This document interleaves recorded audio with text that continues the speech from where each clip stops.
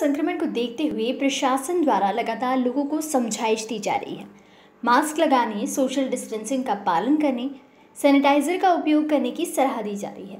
साथ ही लोगों को किसी भी तरह से भीड़ लगाने की मनाही की गई है।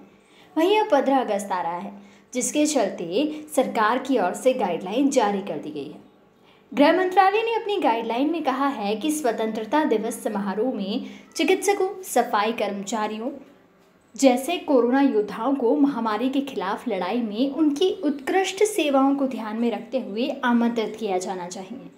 वहीं गृह मंत्रालय ने यह भी कहा कि प्रोग्राम में कोरोना से उबर चुके लोगों को भी बुलाना चाहिए।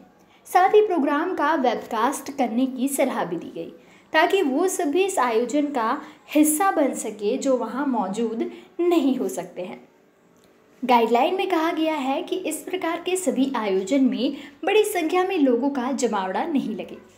मंत्रालय ने कहा कि ये उचित होगा कि स्वतंत्रता दिवस समारोह के दौरान विभिन्न गतिविधियों और कार्यक्रम के संदेशों के ज़रिए तथा सोशल मीडिया पर प्रधानमंत्री नरेंद्र मोदी द्वारा घोषित आत्मनिर्भर भारत विषय का ठीक ढंग से प्रचार प्रसार हो। मंत्रालय ने कहा कि इस आयोजन को हमेशा से ही भव्यता से मनाया जाता है। इस साल भी इसे अनुकूल तरीके से मनाया जाए। गृह मंत्रालय ने कहा कि वैश्विक महामारी के बीच स्वतंत्रता दिवस समारोह के लिए विभिन्न कार्यक्रमों या गतिविधियों का आयोजन करते वक्त कुछ एहतियाती कदमों का पालन करना अनिवार्य है। इसमें शारीरिक दूरी बनाकर रखना, मास्क पहनना साफ़ सफ़ाई की उचित व्यवस्था, अधिक भीड़ भाड़ से बचना, संवेदनशील लोगों को सुरक्षित रखना और स्वास्थ्य एवं गृह मंत्रालय द्वारा कोविड 19 के संबंध में जारी दिशा निर्देशों का पालन करना शामिल है।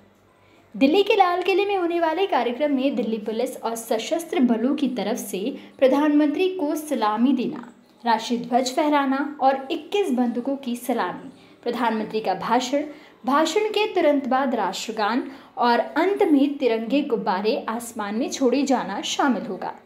गृह मंत्रालय ने जो आदेश जारी किए हैं, वही जिला उपमंडल या प्रखंड स्तर और पंचायत मुख्यालयों या बड़े गाँव के लिए भी रहेंगे।